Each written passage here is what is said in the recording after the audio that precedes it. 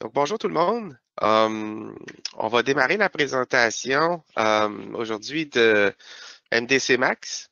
Donc, euh, moi-même, Simon Lachance, mon collègue André Lapointe, on va être avec vous ce matin. Donc, euh, je vous remercie d'être euh, présent avec nous. Um, si vous avez des questions à travers la présentation, euh, gênez-vous pas pour poser les questions, soit dans le chat ou dans il y a une section questions aussi dans GoToWebinar. Donc, euh, si à travers la, présentation, là, il y a quoi que ce soit, euh, gênez-vous pas. Donc, moi et André, on va pouvoir monitorer, euh, dans le fond, les, différentes questions, là, puis vous pouvoir vous répondre directement. Dans la mesure où on n'est pas capable de répondre à toutes les questions, on va pouvoir les, vous revenir par la suite là, pour, répondre à vos, à vos différentes questions. Donc, euh, au niveau euh, du euh, de la présentation aujourd'hui, on va faire ça en deux volets. Donc, on va commencer juste avec une petite présentation PowerPoint juste pour expliquer le concept de, MDC Max. Puis, euh, par la suite, euh, André va prendre le relais pour présenter vraiment là, un, exemple de, MDC Max. Donc, André a une petite, une petite configuration faite de son côté là, avec des simulations de machines pour vous montrer ce que ça donne en temps réel. Donc, on va débuter par euh, regarder un petit peu ensemble le fonctionnement général de MDC euh, Max. En, réalité, qu'est-ce que c'est MDC Max pour ceux qui ne connaissent pas trop? Donc, euh, dans le fond, MDC Max fait partie de la famille de produits Simco. Donc, vous connaissez probablement tous le Simco Edit, donc qui vient avec Mastercam pour l'édition de, de Code G. on a DNC Max, qui est dans le fond le logiciel utilisé pour la communication des machines, donc l'envoi et la réception de programmes. MDC Max, qui est en réalité la collecte d'informations de machines. Euh, MDC Max fonctionne en collaboration avec le NCBase, qui est, qui est juste en dessous, qui est la base de données dans laquelle l'information va être storée. Mais euh, les logiciels DNC Max, MDC Max, puis NCBase, là, sous, sous, sous la, famille de produits Simco, sont tous des produits qui travaillent étroitement euh, en collaboration. Euh, donc, si vous avez, par exemple, déjà DNC Max comme euh, euh, solution de communication machine, on peut ajouter NC-Base et MDC Max pour amener ça à un autre, niveau et faire la collection des, des, données des machines. Donc, fait partie des produits, des produits forts de Simco. si on parle un petit peu, vraiment une introduction à, MDC Max la communication machine, j'imagine que plusieurs d'entre vous êtes déjà habitués avec, avec cette, avec cette solution-là. Donc, si on regarde ici à gauche, là, un serveur DNC Max qui va envoyer, recevoir les communications machines, c'est quelque chose qui est euh, assez standard là, chez, chez plusieurs de, de nos clients. Donc, la fonction MDC Max se combine, comme on parlait justement, là, avec la solution DNC. Ici, on voit qu'il y a trois composantes, mais en réalité, la plupart du temps, c'est installé sous, la même, sous le même serveur ou sur le même ordinateur. Donc, le NCBase, qui est une base de données, généralement une base de données SQL dans laquelle on va sauvegarder l'information. Euh, on va probablement faire une autre présentation un petit peu plus tard sur le produit NCBase, euh, parce que NCBase peut être aussi utilisé simplement avec DNC Max pour faire la gestion des programmes NC, euh, révision de programmes, ainsi de suite. Donc, au lieu de travailler avec des fichiers sur un, dans des dossiers. On peut travailler directement avec une base de données de programme. Mais euh, on, vous enverra des invitations par la suite. C'est quelque chose qui, vous intéresse. Mais on pensait peut-être faire une petite présentation pour, euh, pour ce produit-là en particulier. Mais sinon, si on regarde la partie vraiment MDC, donc euh, DNC Max communique avec la machine, donc un port de communication qui est ouvert avec, avec la machine. Euh, puis la partie MDC, en réalité, va utiliser le même principe de connexion pour aller capturer les données des machines et le sauvegarder dans la base de données. On va regarder un petit peu plus tard dans la présentation les différentes euh, manières qu'on peut faire le branchement au niveau des machines et au niveau de la collecte de données. Mais après ma barre, le MDC, euh, donc dans le fond, vient configurer les données qu'on veut recevoir et comment est-ce qu'on veut traiter ces données-là. Donc, les données vont être sauvegardées dans la base de, la base de données NCBase pour la suite être présentées de différentes façons. Donc, on va voir qu'on peut avoir un live screen qui est par exemple une télé dans, dans l'atelier qui te permet de voir en temps réel quelle machine roule, quelle machine ne roule pas, quelle machine est en alarme, quel opérateur est sur la machine, quelle pièce est en train de rouler. Si vous voulez avoir un décompte de pièces, par exemple, cette pièce-là, on, veut faire rouler 50 pièces sur la machine, on est rendu à la 15e, ainsi de suite. Donc, on peut, on, DNCMAC nous permet de configurer ce qu'on veut afficher euh, au niveau des rapports aussi par la suite. Donc, les rapports qui sont générés, on va avoir des rapports par chiffre de travail, par machine, ainsi de suite. Donc, MDC Max nous permet de traiter les données qui sont reçues puis les présenter de la manière qu'on veut, euh, qu'on veut les présenter. Okay. ça, c'est le concept général au niveau du euh, au niveau de MDC Max. André, comme je disais, va rentrer un petit peu plus en détail euh, là-dessus par la suite. Comment, euh, comment on collecte les données au niveau des machines? Euh, il y a deux volets au niveau de la collecte de données. Il y a une collecte de données qui se fait directement à partir de la machine. Donc, on, tire la donnée de la machine à savoir est-ce que la machine est en train de rouler, est-ce qu'elle est en arrêt, est-ce qu'elle est en alarme, est-ce qu'elle est en feed hold. Dépendamment des technologies qui sont, qui sont utilisées, on peut même euh, valider est-ce qu'elle est en feed overwrite ou pas, ainsi de suite. Donc, il y a différents critères là, qui peuvent être euh, envoyés directement de la machine et qui sont sauvegardés euh, dans la base de données. Donc ça, c'est qu'on reçoit de l'information directement euh, de la machine en tant que telle. Par contre, cette information-là, la plupart du temps, il faut la mettre en contexte. OK? Donc, il y a une partie d'information qui est qui est dans le fond euh, envoyée au niveau de l'utilisateur. OK? Donc, l'utilisateur de la machine. je veux juste vérifier quelque chose. Il y a quelqu'un qui nous dit qu'ils n'ont pas de son. Est-ce que euh, les, les, gens, si vous nous entendez, est-ce que vous pouvez soit lever la main ou écrire dans le chat pour dire que vous entendez bien? OK, bon, je vois des mains qui se lèvent, donc euh, euh OK. ça a l'air d'être correct. Je vous remercie. OK, c'est beau. Je m'excuse. Donc, euh, Parfait. il y en a un qui dit qu'il entend juste sur le téléphone, mais pas sur le PC. Pourtant, de notre côté, on est juste sur le PC et ça fonctionne bien. Donc, dommage, mais euh, bon. On va continuer. Parfait. Ben, écoute, je remercie, euh, merci André. donc, euh, donc, ce que je parlais, c'est ça. Donc, il y a, l'information qui est tirée au niveau, de, au niveau de la machine, puis il y a une partie qui doit être mise en contexte par l'opérateur. Donc, on a une interface opérateur qu'André va pouvoir vous présenter aussi, qui nous permet euh, de définir, par exemple, euh, qui est l'opérateur sur la machine, le nombre de pièces à faire, quand il y a des downtime, est-ce que c'est parce que l'outil est brisé, est-ce que, la machine est en maintenance, est-ce que c'est parce que, euh, dans le fond, on est en montage sur la machine, ainsi de suite. Donc, les données machines, c'est une chose, mais le contexte, souvent, c'est une partie qui est quand même, quand même intéressante à avoir. Donc, euh, pour cette raison-là, euh, la collecte de données se fait un petit peu là, à, deux niveaux euh, directement. Et on choisit par la suite comment on veut présenter ces, ces données-là. si on poursuit. Si André, tu pourrais ah, changer. Parfait. Au niveau de l'interface utilisateur, André va faire une petite présentation, mais il existe deux types de concepts global.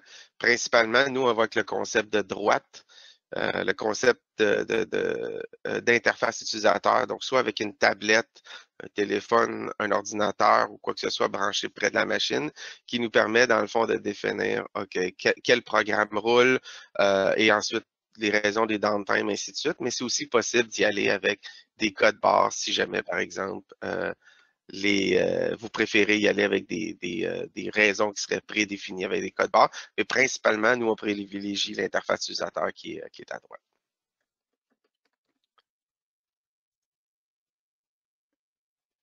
Au niveau, euh, donc, collecte, on vient de parler de collecte de données.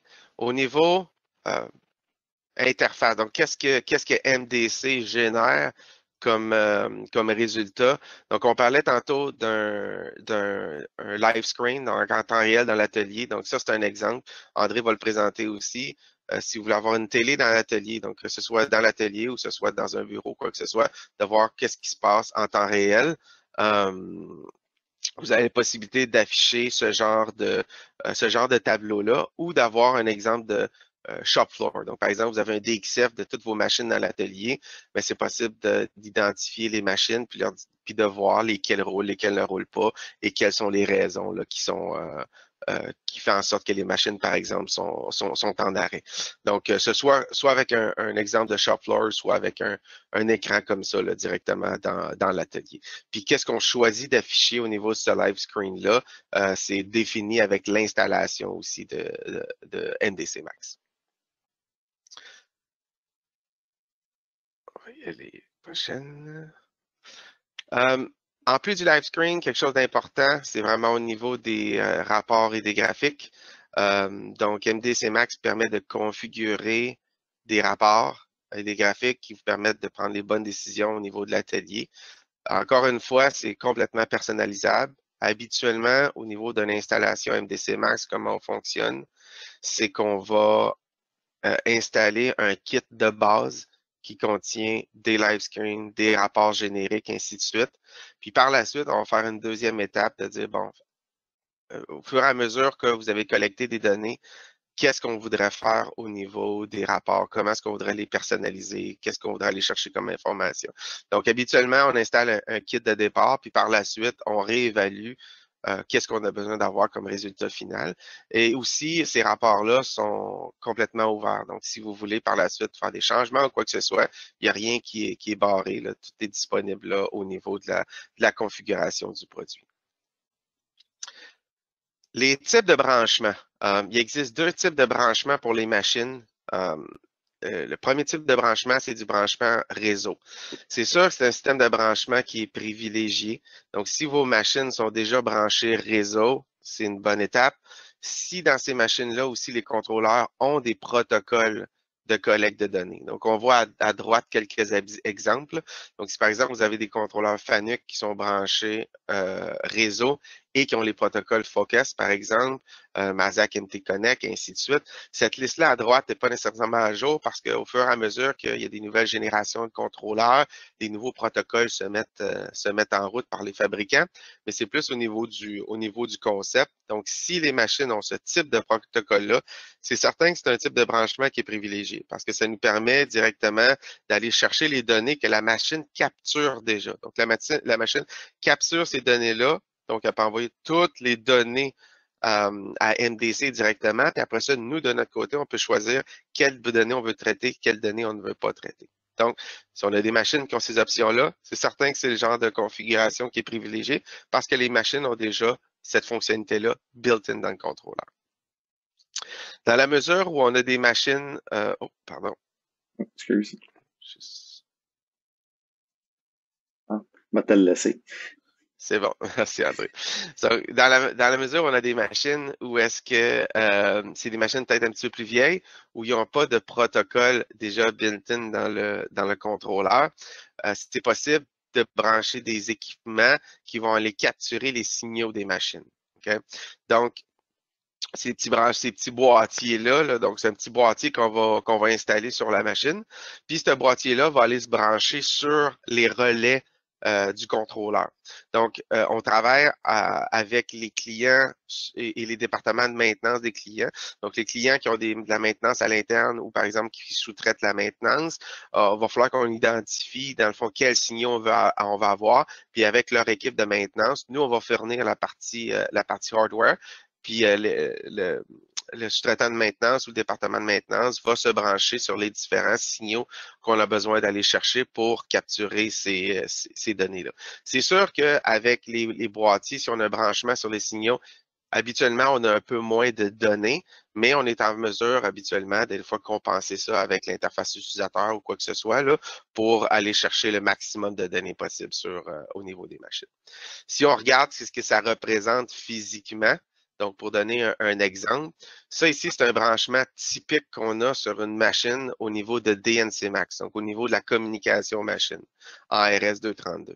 Donc, dans le fond, on va avoir la machine euh, contrôleur ici à droite, sur laquelle on va avoir branché une pièce d'équipement, un, un, petit hardware qui va faire la conversion en signal RS232 pour l'envoi et la réception de programme. Si on veut ajouter un module MDC Max sur ce genre de machine-là, ce qu'on va faire, c'est qu'on va rajouter un autre boîtier. Donc ça, c'est le même qu'on avait avant qui fait la communication machine. Puis on va rajouter un IO Logic que lui va aller se brancher sur les relais euh, dans le contrôleur pour aller identifier justement quand est-ce que la machine est en marche, quand est-ce qu'elle est en arrêt, quand est-ce qu'elle est en feedle, euh, part count, ainsi de suite. Donc, on va définir ce qu'on veut avoir, puis euh, le branchement se fait directement sur, euh, sur le contrôleur. Juste pour récapituler, parce qu'André va, prendre le relais par la suite. Grosso modo, DNC Max, euh, on collecte les données des machines, deux étapes. On collecte directement avec l'information qui est donnée la machine. On collecte avec l'interface utilisateur aussi, qui nous donne le contexte de tout ça. On peut générer un live screen pour voir qu'est-ce qui se passe en temps réel sur les machines. Et ensuite, la création de rapports qui nous permet de euh, personnaliser euh, ce qu'on veut recevoir comme information pour nous aider à prendre les bonnes décisions au niveau, euh, au niveau de l'atelier en général. Donc, ça, c'est le concept global de NDC Max. Je vais laisser André prendre la suite. Il va pouvoir vous présenter, là, comme on parlait un petit peu en temps réel, qu'est-ce qui, un exemple de, de NDC. Oui, bonjour. Donc, euh, euh, donc c'est comme Simon expliquait, dans le fond, ce que j'ai sur mon ordinateur, c'est un peu comme un simulateur d'atelier. Donc, j'ai des scripts qui roulent puis qui envoient des informations à mon système de, euh, de MDC, là, comme si c'était euh, les, les, machines qui envoyaient des, des, informations et ou les opérateurs qui envoyaient des, euh, du, du, feedback là, vers, vers le système.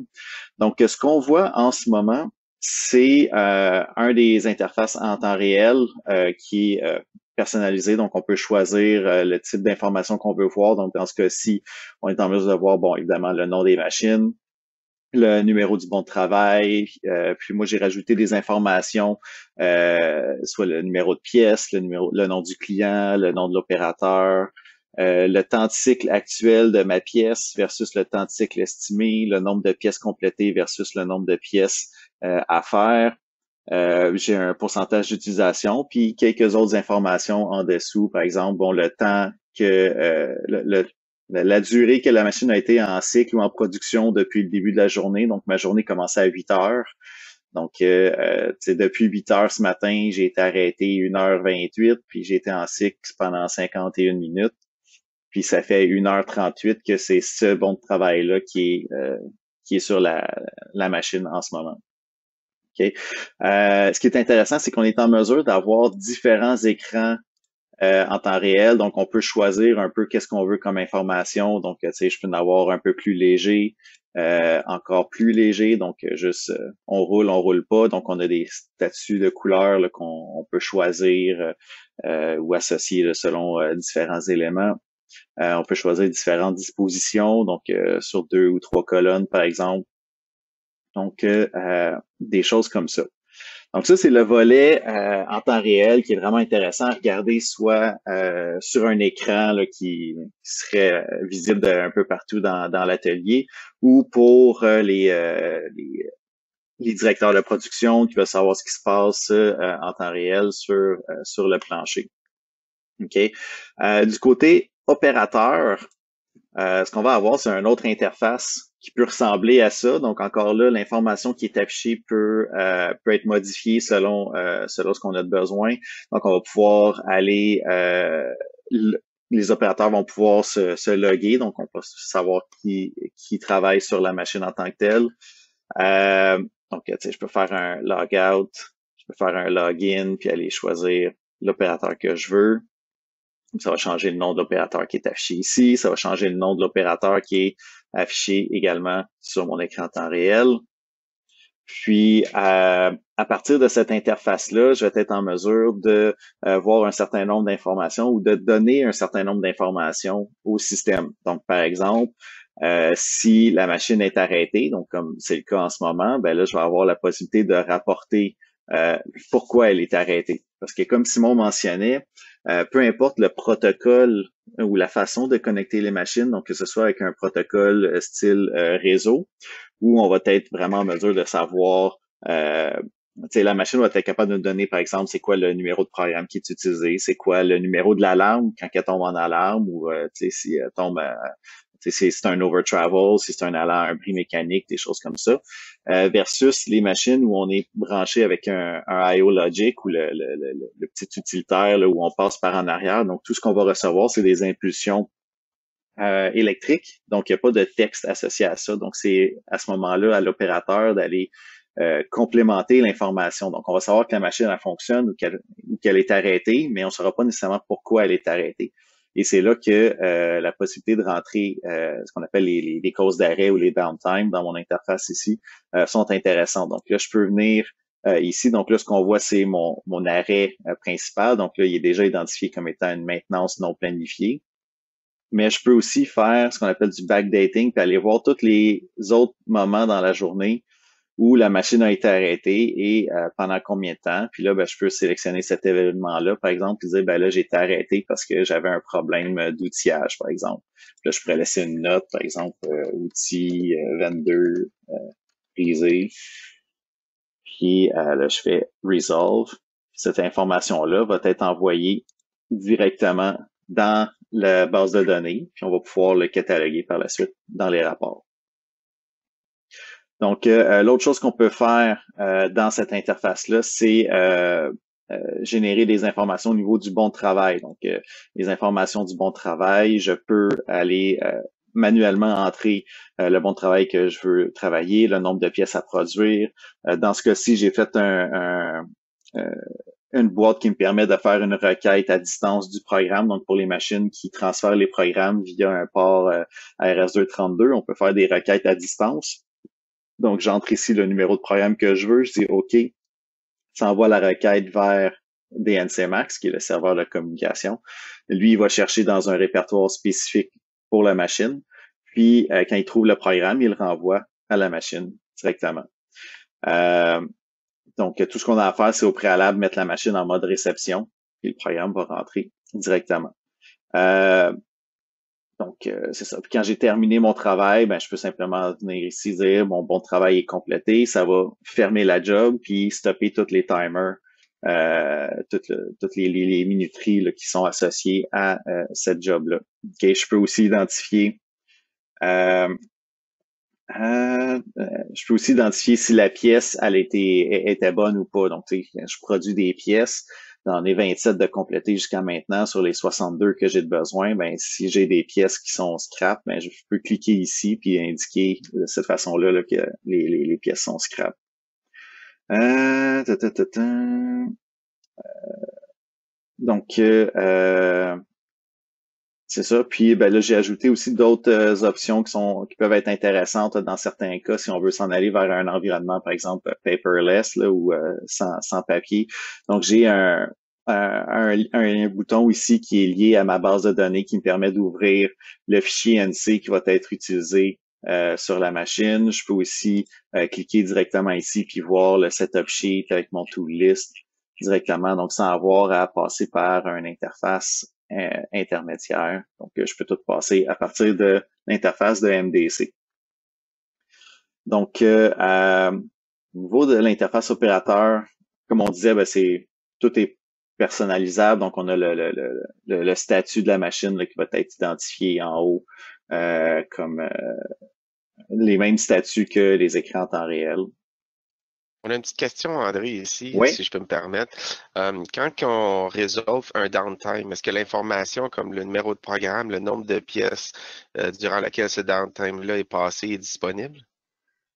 Euh, ben en fait, l'information, elle est toujours disponible tant que la job elle est ouverte sur les écrans en temps réel. Sinon, il y a moyen d'aller chercher ces informations-là dans un rapport ultérieur directement. Donc, ce qu'il faut comprendre, c'est que ce qu'on voit dans l'interface web ici, euh, c'est euh, c'est ce qui se passe en temps réel. Donc, c'est ce qu'il y a là. Il n'y a pas d'historique nécessairement là, qui, qui est fait à partir de l'interface en temps réel. Euh, par contre, on est capable d'aller chercher un paquet d'informations, mais j'ai un peu de misère à, à saisir l'histoire du nombre de pièces durant dans le même time.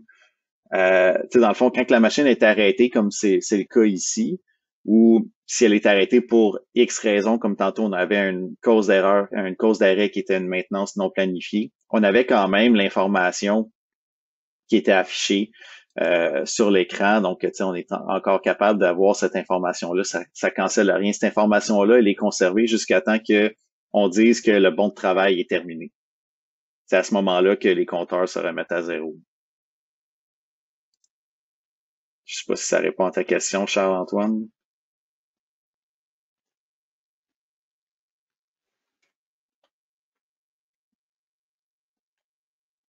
Merci, André. Il ah, n'y a pas de problème. Donc, euh, euh, une autre façon qu'on a de euh, présenter l'information, c'est ce qu'on appelle un dashboard. OK? Donc, l'idée, c'est d'avoir de l'information à la fois plus détaillée ou plus globale euh, de, de, de, ce qui se passe dans l'atelier. Donc, dans ce cas-ci, on a, par exemple, un pourcentage d'utilisation. Donc, depuis 8 heures ce matin, j'utilise mes machines à 36 des, des, des capacités de, euh, de, de, ma machine. Donc, euh, pas super efficace.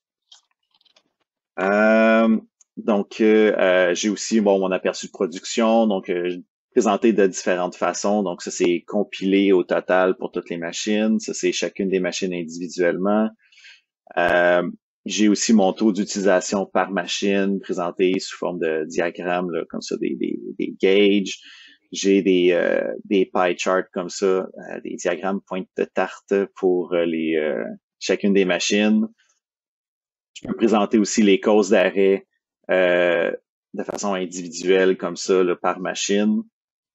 Euh, je les ai euh, englobés ici. Puis j'ai aussi un, timeline que je peux avoir. J'en ai un pour chacun de mes corps de travail. Donc pour l'instant, la journée commence à 8 heures, donc il y a seulement celles-là qui sont, qui sont disponibles.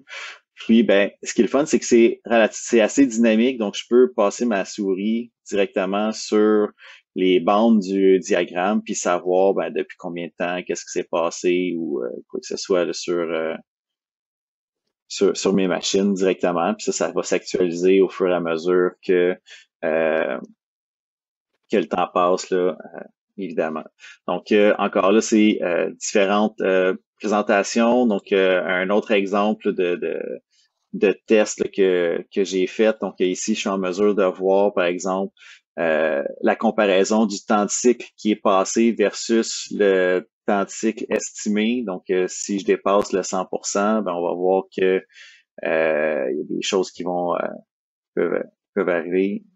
Donc là, j'ai dépassé mon 5, mon 105%. Donc, je suis capable de faire un suivi du nombre de pièces qui sont bonnes. Donc, quelques, quelques exemples ici aussi. Donc, j'ai fait un tableau ici, par exemple, qui, qui exprime le temps de cycle moyen, le temps de cycle estimé, le temps de cycle actuel de la pièce, puis combien de pièces que j'ai faites qui ont excédé de plus que 10% le temps de cycle planifié. Donc, euh, ça peut donner des fois des indications sur euh, euh, qu'est-ce qui se passe sur la machine.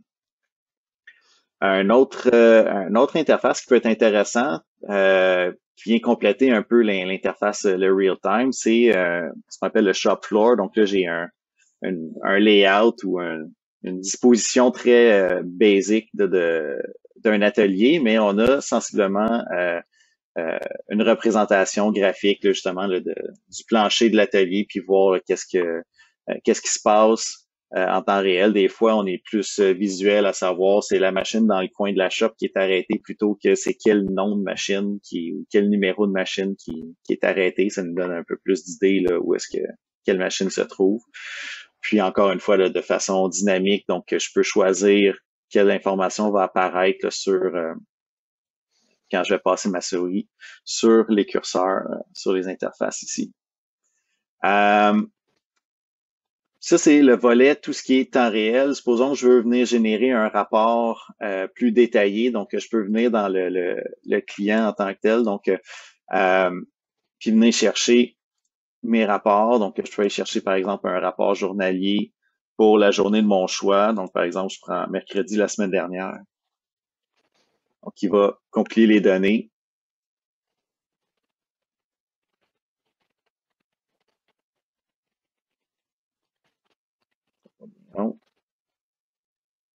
Compile pour chacune des machines. Et voilà, donc là, j'ai mon rapport PDF qui est compilé. Donc, euh, dans ce, rapport-ci, j'ai mon taux d'utilisation par machine, par corps de travail. Euh, j'ai ma charte de productivité, donc je peux savoir un peu là, euh, je vais mettre ça un peu plus grand. Donc euh, en pourcentage, je pourrais le mettre en temps aussi, mais j'ai préféré le mettre en pourcentage. Donc sur cette pour cette journée-là, ben j'ai passé 2% de mon temps en setup, 53% à attendre, 11% en arrêt non planifié, puis 33% en production, et ainsi de suite. Donc j'ai ça pour chacune de mes machines. Puis, je peux avoir aussi un diagramme euh, à bande comme ça qui représente l'utilisation de chacune des machines par corps de travail. Puis, on peut euh, mettre des, des, des, cibles minimum ou un target là, pour dire, ben, on espère arriver dans, dans ce ratio-là ou pas. Euh, je peux afficher le timeline. Donc, dans ce cas-ci, on est rendu sur un PDF, donc il n'est pas dynamique. Donc, c'est vraiment juste pour voir là, un détail des couleurs, donc on peut mettre plus ou moins d'informations. Euh, c'est sûr que dans mon dans mon dans mes scripts qui roulent, les temps de sont relativement courts pour qu'on voit suffisamment d'événements, même sur une courte période de temps. Donc, euh, si vous avez des cycles qui durent 15-20 minutes, il va avoir beaucoup moins de bandes de couleurs sur euh, sur le timeline. Donc, j'allais pour le quart 1, le quart 2, le quart 3. Donc, euh, une autre chose qui peut être intéressante en termes de rapport, c'est euh, des relevés au niveau des, euh, des jobs ou des, euh, des bons de travail qui ont été exécutés pendant la journée par machine. Donc, c'est un exemple de, de, de, de présentation qu'on pourrait avoir. Donc, pour chacun des corps de travail, donc j'ai ma machine, la HMC 204, chacun des corps de travail, donc je peux savoir c'est quoi les numéros des, des, bons travails qui ont été faits, puis la description de temps euh, qui a été utilisé. Donc, le job time, c'est la job au complet du moment où ce que j'ai entré j'ai dit que je commençais cette job-là jusqu'au moment où j'ai dit qu'elle était terminée. Donc, ça a duré tant de temps. J'ai passé tant de temps en production, euh, en setup, temps en arrêt, arrêt non planifié, etc. Puis là, je peux avoir le détail comme ça, machine par machine. OK? Puis sinon, euh, on va voir euh, par après, c'est la même information, mais présentée différemment. Donc, au lieu d'avoir un tableau par corps de travail, j'ai mis les trois corps dans le même tableau. Donc, ça nous permet de voir, par exemple, euh, des fois, il y a certains jobs qui vont se chevaucher. puis ça me permet aussi de voir le total de la journée au complet, ou le total de chacun des corps de travail euh, directement comme ça. Donc ça, c'est euh, deux exemples de rapports qu'on peut euh, qu'on peut générer. Donc l'information qu'on a va dépendre de ce que vous voulez avoir directement pour ça. donc, c'est autre chose que je voulais dire. Je pense que ça fait pas mal le tour. ah, quelque chose que j'ai oublié de, de configurer. Euh, je voulais vous montrer. Donc, on peut faire des événements euh, qui vont être euh, envoyés par courriel. on va voir. Bon, évidemment, toutes mes machines sont arrêtées. Oui, on décide pas trop long. S'ils finissent par repartir bientôt, on devrait avoir d'ici quelques secondes. je vais recevoir un courriel pour me dire que j'ai une pièce qui est complétée, pièce qui est complétée. Puis, euh, je peux l'avoir soit par courriel, soit par message texte. Euh, un ou l'autre, les deux fonctionnent bien. Pour, euh, Le même principe aussi est vrai pour les alarmes, André, c'est ça? Oui, oui, tout à fait. Donc, on peut configurer un certain nombre d'événements. Donc, selon ce qu'on reçoit, ça peut être justement quand il y, a, des alarmes. Donc là, il y a quelque chose ici que j'avais fait à un moment donné. On va le voir, on, le verra pas parce qu'il est pas, il est pas en alarme, là, mais euh, elle est en inspection. Mais si on avait une machine en alarme, on peut configurer des interfaces en temps réel, par exemple, pour euh, qui, qui, vont indiquer que euh, la machine est en alarme pour, par exemple, les gens de maintenance, qu'est-ce qu'ils peuvent ils peuvent monitorer cette information-là. Donc, je viens de recevoir un message ici comme quoi que la job était complétée. Donc, euh, euh, sur telle machine, tel jour, telle heure, cet opérateur-là a complété cette job-là. Ça a pris tant de temps. C'était ce programme-là qui a été fait. Je vais, ouvrir l'autre courriel qui plus d'informations dedans. Donc, le nombre de pièces. Donc, il a été chanceux, pas fait de scrap sur ce job-là. que ça va bien. Donc, euh, éventuellement, dans quelques secondes, je vais recevoir un autre courriel pour me dire que euh, il y a des, euh, pièces qui ont été complétées. Je les ai pas mis sur toutes les machines, par contre. on va savoir sur celle-là. Mais, euh, ben, c'est ça, ouais, pour terminer, on peut le mettre pour les alarmes, on peut le mettre pour euh, plusieurs événements, puis on peut faire un système d'escalade dans le sens que euh, si on envoie un courriel pour un statut en particulier, par exemple, la, machine est arrêtée pour X raison, ça fait plus que cinq minutes, ben on peut envoyer un message au soit à l'opérateur ou à un directeur de production. Euh, après ça, ben, si après 15-20 minutes, c'est toujours pas réglé, ben, on peut escalader ça à un autre niveau ou envoyer un autre message à quelqu'un d'autre. Donc, euh, voici un autre exemple. Donc, pièce à être complétée. Donc, on est rendu à 10 sur 22 sur la machine, la VMC 70. Donc, euh, donc c'est un peu ça. Donc, on peut on peut utiliser ça pour différentes différentes raisons, différentes étapes. Simon, est-ce que tu penses que j'ai oublié quelque chose? Je pense pas. Je pense qu'elle explique quand même le concept de base. C'est ça qu'on ou, comment est-ce que comment le produit fonctionne puis comment il s'interface avec, euh, avec les différentes euh, différentes machines. Hum, écoutez, on, si jamais vous avez des questions, on, va ben regarder les différentes questions. Oui, il y en a une ou deux qui viennent de rentrer. Donc, euh, Charles, Charles Antoine, pour répondre à ta question, c'est vraiment on monitore les machines, pas l'usinage en tant que tel. OK? Euh, c'est sûr que selon certains euh, protocoles de communication, c'est des machines plus récentes avec des protocoles réseau, euh, on est capable d'aller lire certaines adresses d'information directement dans le contrôleur. Donc, si tu veux monitorer le load sur l'outil puis que la machine te le donne, on serait en mesure de te faire une entrée ici comme on peut le faire pour euh, certaines machines avec les feed rate override. Donc, j'ai pas ce signal-là dans mon dans mon système, mais euh, on sera en mesure de savoir, par exemple, quand euh, l'opérateur il, il, descend le, le, le, feed manuellement, on serait capable de savoir à quel pourcentage de, l'avance programmée on se situe. Même chose pour euh, déplacement rapide ou pour le spindle. Donc, on est capable d'afficher le load si on est capable de recevoir l'information après ça, ben, tu peux traiter l'information comme tu veux euh, à ce moment-là. OK? Euh, François, donc euh, de quelle façon ce système se connecte à un ERP? Est-ce que le MDC est capable d'envoyer des informations de poinçon vers le ERP? Oui. c'est une intégration qui peut se faire. Donc, MDC a la capacité de communiquer avec d'autres ERP notamment en utilisant le protocole euh, SQL. Donc, si c'est un database SQL que vous avez sur votre ERP, on est capable soit d'aller extraire des informations d'ERP selon certaines euh, requêtes, ou soit d'aller euh, pousser de l'information vers le système de gestion. Donc, un peu comme dans l'exemple que tu disais, quand l'opérateur commence une job, ben, nous, on peut envoyer un signal au ERP pour dire ben la job est sur la machine. Donc, si jamais, au lieu de vous faire achaler par les, vendeurs ou les, personnes, savoir euh, la job est arrivée, quand est-ce qu'elle va être prévue ou quoi que ce soit, ben là, vous capable de dire, ben regarde, la job est rentrée et sa machine ou la job, elle, vient d'être terminée, donc elle s'en va à la prochaine étape au shipping, des choses comme ça. Donc, c'est toutes des, choses qu'on peut faire. Donc, tu sais, comme par exemple, moi, mon, mon, setup utilise NCBase exclusivement, mais dans NCBase, euh, puis comme Simon dit, on pourra vous faire une présentation un peu plus euh, détaillée là, dans une autre présentation, mais pour chacune de mes jobs, j'ai entré, par exemple, le temps de cycle de, prévu pour chacune des pièces, le temps de setup, le temps à peu près de, de, de, de, part to part, donc entre les deux pièces.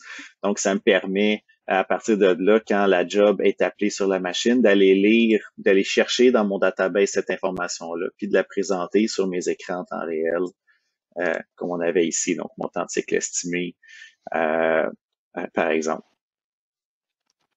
Donc, oui, pour répondre, François, on est capable de communiquer avec le ERP. La seule, la seule chose, le, le, bout difficile avec le ERP, c'est qu'il faut savoir exactement dans quelle table la base de données aller chercher l'information ou aller écrire l'information. Donc, il faut avoir les accès pour tout ça, mais ça se fait. Y a d'autres personnes qui ont des questions? Sinon, euh, sûr que vous pouvez toujours communiquer avec nous. Ben, S'il n'y a pas d'autres questions, euh, on vous remercie beaucoup d'avoir été présent avec nous ce matin. Euh, si, si vous avez besoin euh, plus d'infos, si vous voulez avoir euh, une discussion un petit peu plus là, portée sur vos, euh, sur vos besoins, vous pouvez en parler avec euh, votre représentant, Étienne ou, ou, Thierry, ou vous pouvez contacter André ou moi-même, il n'y a pas de problème. Si vous n'êtes pas certain c'est qui votre représentant, vous pouvez envoyer à vente à une Solutions. Puis à ce moment-là, Étienne ou Thierry vont, vont vous revenir là, avec, avec ça. mais sinon, on vous remercie beaucoup d'être présent. Euh, aujourd'hui. Puis on va essayer de faire un petit peu plus de, webinaires euh, comme ça pour donner d'informations par rapport à différents, euh, produits. que ça nous fait toujours plaisir d'avoir de la bonne participation. Donc, on vous remercie beaucoup et on vous souhaite une bonne journée.